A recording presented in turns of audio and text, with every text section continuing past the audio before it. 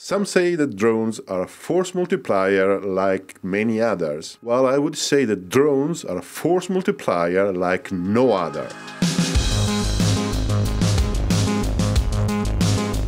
It took just a few days after the appearance of the Light Shahed 136 drone in Ukraine before having articles like these in the international press.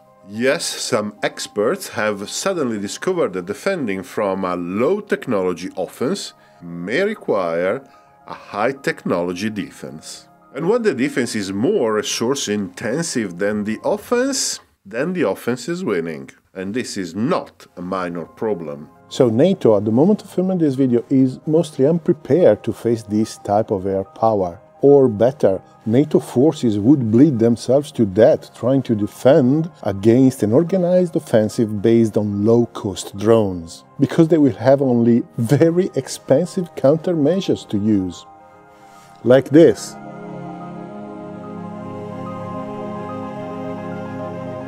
Don't be fooled, a full complement of rounds for a AAA gun costs like a car, and the rounds are not as readily available as you may think. So, ironically, high techs and sophisticated armed forces like those used by NATO and the US are the most vulnerable to this kind of offensive. So, yeah, we must find a solution.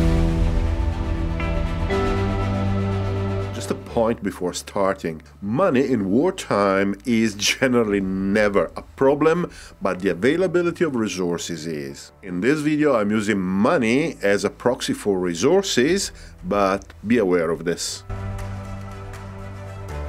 problem is not new at all. For example, when the Soviets started relying more and more on salvos or of anti-ship missiles to contrast the US and NATO carriers, the problem of defending against them became apparent. So the best solution would have been to attack the launcher before launching it, but it was a risky proposition. I mean, don't get me wrong, the F 14 would have done a great job, uh, but this particularly with those missiles. A second layer was needed, which meant guided missiles. This generated a large family of famous weapons the Terrier, the Tartar, and the now ubiquitous Standard SM2, SM3, SM6. And don't get me wrong, this may work very well, but this is not a clever solution. The defensive weapon must be highly capable because it must work against the most lethal threats at the longer range possible. But when the threat is an old missile or a relatively cheap drone, well, the ship is already equipped with those high end defenses, and these will still require one or two of these very expensive missiles to be shot down. So, in general, the attacker will try to force the defender to expand its own high end defenses against old missiles, cheap drones, before coming in with the high end threats. So a saturation attack may consume fewer of the attacker's resources than those necessary to defend against them, and this means the offense has an advantage. Till recently the problem was only naval. Yes, because ground-based air defenses were mostly designed to engage aircraft. Since an aircraft is more complex than a missile and it is engaged with a cheaper weapon, all was good. So a high-end cruise missile is a high-end threat, so it's okay to engage it with a high-end defense.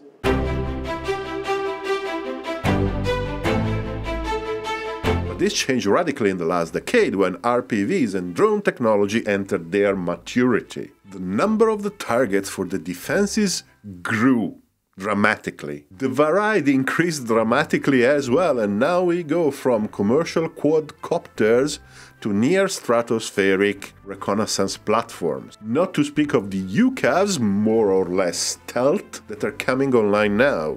To shoot down a quadcopter, even an autocannon can be too expensive or too complex, but the same quadcopter could rely targeting data to the friendly artillery being as lethal as a much more complex and expensive unit. A relatively cheap manpad could have problems trying to shoot down a relatively cold and small platform like a loitering munition. But anything bigger, even a medium range surface to air missile seems utterly wasted against such cheap and small targets. To cope effectively with this new type of air power, air defenses must be cheap and pervasive, and Western armed forces have very little that is cheap and pervasive. Forces organized according to the Russian style, are probably in a slightly better position. Even in this case, the problem is the same. Their surface to air defenses are very expensive. The standard NATO answer, air power, which is achieving air dominance, won't help you much in this case because a fighter mission and an air to air missile seem a proportional to reply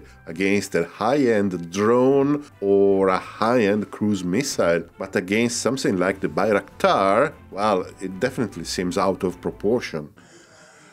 Even a helicopter mission seems disproportionate. So, what are we going to do?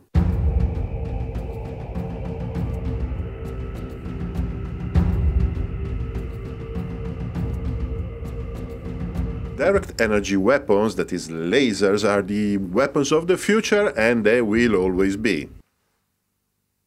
Actually, a weapon whose cost per round is basically just energy seems definitely a fitting tool to contrast cheap drones and small UAVs. The system itself will be expensive, but the cost of the single round will be, well, minimal. And the examples are not missing. The technology is almost ready. This is surely true for ships, but for ground forces, it is still quite a big compromise in terms of weight and size. If the system is small and light enough to be practical, then the energy throughput is probably not ideal. But we are close. However, there is another approach, the clever one, the smart one. Yes, soft kill electronic countermeasures. Just break the connection with the GPS or break the connection with the pilot or mess around with the onboard electronics and the vehicle will fall off the sky. Again, the system will be expensive to create, but the cost of the single attack will be, well, just the energy. There are several examples of systems dedicated to this task, and in many cases they did quite well. The Chinese, though, seem to be taking a different direction. They presented just few days ago an integrated system to protect ground forces from drones. It is using a mix of machine guns, very small and cheap missiles, and electronic countermeasures, all integrated around an electro optic and radar system. So, problem solved. We are going to have a new category of system that is going to protect ground targets from drones and RPVs. So, all is good? Well, not quite.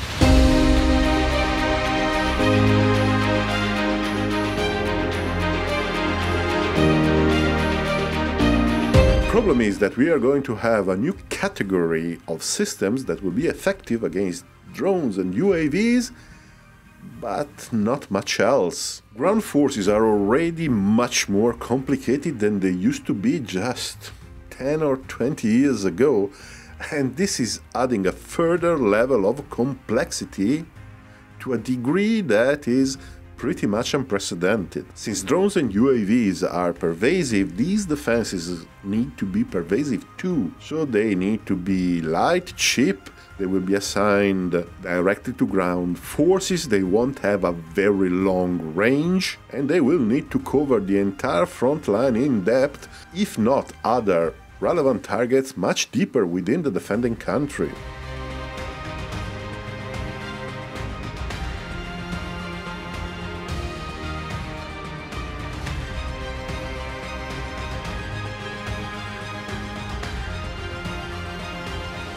For example, a 4x4 mounted autocannon that can be used against aircraft has also some effectiveness against a tank or against an armored vehicle. A laser system mounted on a 4x4 will be perfectly capable against drones, but will do almost nothing to a tank or any other armored vehicle. You can't even start thinking about using it against infantry or buildings. Actually, these systems will need protection and they will be a further concern for the ground forces. And they may well end up being way more complicated than some of the threats anyway. So while it is becoming possible to deny drones and UAVs activity over the battlefield, we have no guarantee that it will be as simple or as cheap as the drones are. In a different day and age, protection would have been searched for in passive measures and dispersion. Some losses would have been accepted. But today, either for ethical reasons or operational reasons, the value of the land forces is high enough that this solution is no longer acceptable. I guess what I'm trying to say is that the impact of this kind of distributed air power is going to be higher than initially thought the increment in capability per unit cost is much higher than with other technologies. The force multiplier is much higher than with many other technologies. Some say that drones are a force multiplier like many others. Well, I would say that drones are a force multiplier like no other. Well, I guess we will see. It will be nothing good, but we will see. However, in Ukraine we have seen something already, and if you want to learn more about what drones and cruise missiles are doing in the Ukrainian theater of operations, please click the video that is going to appear beside me. Thank you very much for watching, and see you next time.